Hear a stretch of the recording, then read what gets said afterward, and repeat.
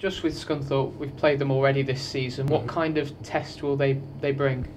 Yeah, I'm sure it's going to be a tough test. A good team. Um, they won again, I think, in the weekend.